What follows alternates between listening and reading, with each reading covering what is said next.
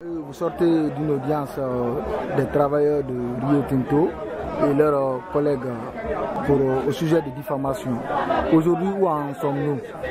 Nous sortons très satisfaits de cette audience parce que deux informations capitales se sont confirmées aujourd'hui. La première, c'est que euh, vous avez eu la confirmation comme quoi c'est effectivement M. Boubacar Doumbouya et Mamadi Kamara qui faisaient toutes les propositions qui étaient validées, n'est-ce pas, par la direction générale. Ça a été dit.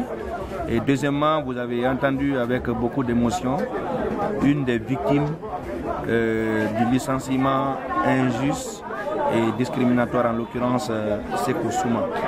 Euh, cela veut dire que dans ce dossier, les propos qualifiés de diffamatoires sont vérifiés par ces deux dépositions. Donc euh, nous sommes convaincus que nous allons sortir haut les mains dans ce dossier et que indubitablement M. Mori, Kondé sera relaxé. Euh, voilà, maintenant, comment vous qualifiez le comportement de vos collègues de la partie civile? Bon, écoutez, je vous l'ai dit à l'audience dernière que c'est une défiance de l'autorité judiciaire. Lorsque le tribunal ordonne une mesure, toutes les parties ont l'obligation de la respecter. Mais vous avez remarqué qu'à l'audience dernière, euh, ces deux prétendues victimes n'ont pas comparu. Elles ont réitéré les mêmes comportements aujourd'hui. L'affaire a été renvoyée euh, au 12 janvier 2017.